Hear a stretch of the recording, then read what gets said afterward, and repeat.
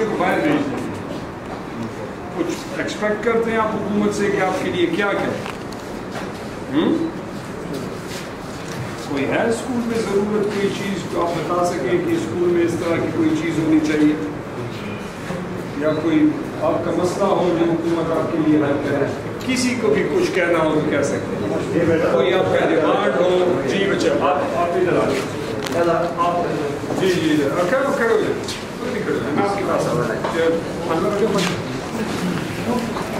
Dziwicie.